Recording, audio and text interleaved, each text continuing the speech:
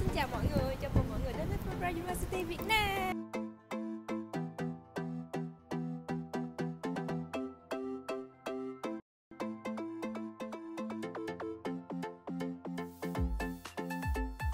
Chương trình thạc sĩ đã có từ rất lâu đời ở trường này mình rồi. Đã có bao nhiêu năm, các bạn biết không? À, chương trình thạc sĩ đã tồn tại ở Đại học Fulbright Việt Nam 25 năm rồi thì ngày trước nó được gọi là chương trình giảng dạy kinh tế Fulbright do trường Harvard Kennedy và, và trường Đại học Kinh tế Thành phố Hồ Chí Minh hợp tác thành lập.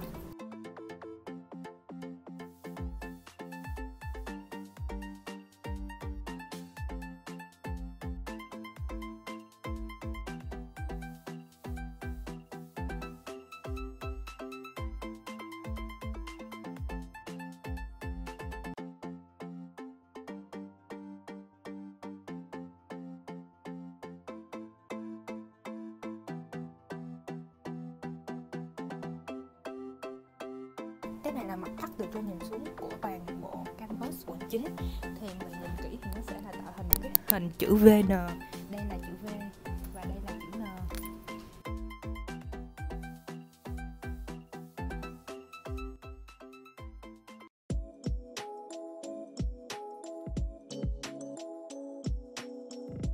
Này là thư viện chính của trường Fulbright hiện nay ở quận 7 Viện này nhìn thoạt nhìn còn khá là nhỏ bé nhưng mà sau này thì những cái đợt sách mới dành cho nhiều chuyên ngành sẽ đang được chuyển về đây.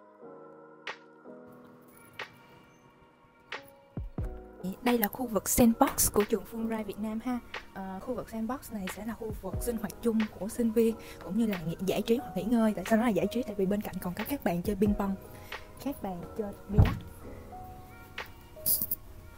thư viện mini bao gồm những cuốn sách mà các bạn cần tìm hoặc những cuốn sách mà liên quan tới những cái thì khu vực board game này của tụi mình có một cái trò chơi rất là đặc biệt. Đây cũng là sản phẩm của chính sinh viên Fulbright tự tạo ra trong lớp học design system thinking.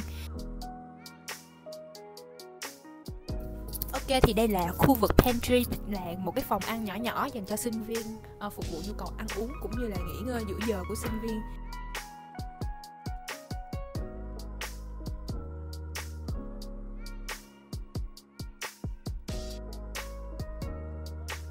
Này đây là phòng computer lab. Computer lab thì là một cái phòng ở trong đó có rất là nhiều dãy máy tính để cho học sinh dùng khi mà lúc mình đi học mình không quên đem laptop. Kế bên đây luôn là một cái phòng gọi là audio visual room. Thì khi mà nhìn vô tên là mình đã biết là phòng này sẽ dành cho những cái môn học chuyên về music. Tại vì phòng này sẽ cách âm. Ờ, thì khu vực này là phòng makerspace của trường mình. Makerspace là sẽ quy tụ rất là nhiều những cái máy móc uh, dụng cụ mà phục vụ cho học sinh những môn học như về engineer kỹ thuật hoặc là về science khoa học. Thì uh, ở đây tụi mình có rất nhiều máy như kiểu máy hiển vi cũng như đây cũng là nơi mà uh, để các sản phẩm của học sinh tự tạo ra như phía trên kia. Những cái chuông lắc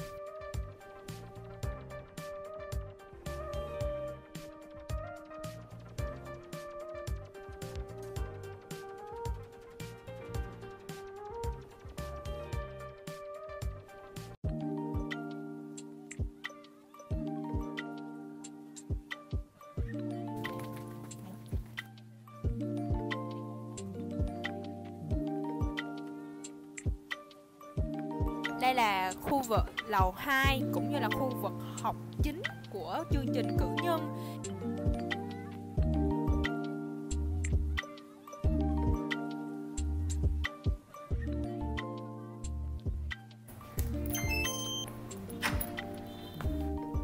Còn đây là nơi sinh hoạt chung chính, gọi là common area của chương trình cử nhân. Thì ở sảnh lớn này thường tổ chức các sự kiện, các à, buổi hội thảo cũng như là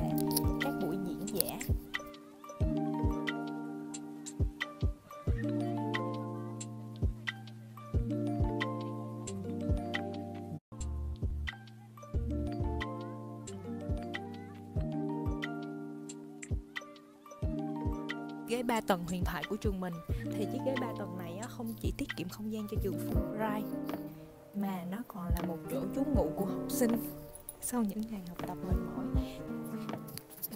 Máy in của trường mình. Thì ờ, học sinh sẽ có thể tự do sử dụng máy này.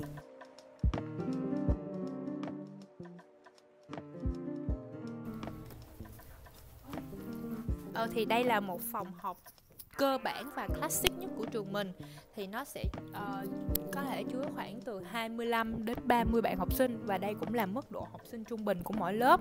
Trọng nhất của trường mình nơi làm việc của những con người quan trọng nhất trường đó là giáo viên đây là phòng giáo viên hay còn gọi là fishbowl.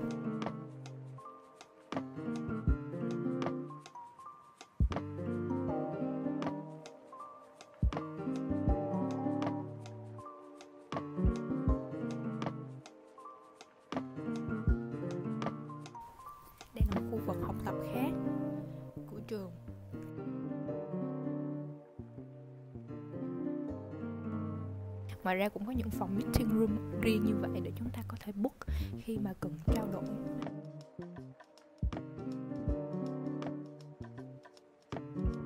Nơi mà gắn những cái announcement của trường dành cho sinh viên, cũng như những kiến nghị và góp ý của sinh viên dành cho trường mình.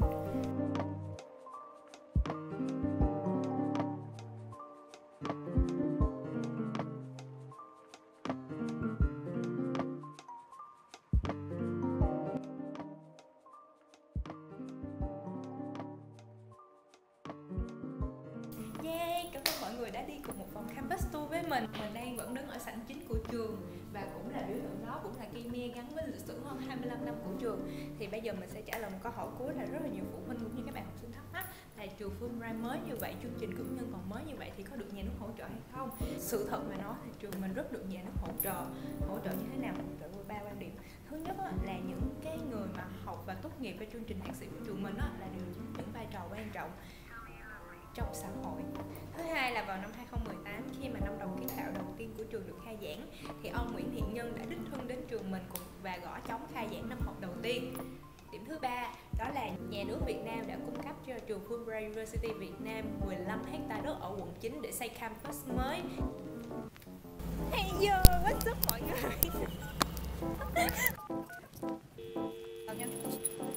Trời ơi, lộn xộn mọi người máy gì kiểu nói gì cái máy gì mà nó rất là chỉ có mình mới được á. Là, là khu vực. Người ta đi vô